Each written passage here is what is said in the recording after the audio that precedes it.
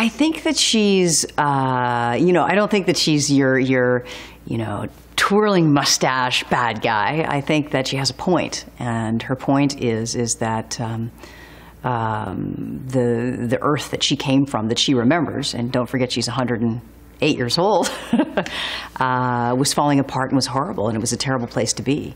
And uh, they've created this new this new habitat, Elysium, uh, to get rid of some of the bad things that happened then. Um, you know, the, the you know, terrible pollution, uh, toxicity of the planet. Uh, uh, overpopulation, all those things that we all know right now are a problem, and um, and now all her concern is is really to protect that and to protect uh, the new habitat that they've come up with, the sort of utopian habitat that they've come up with.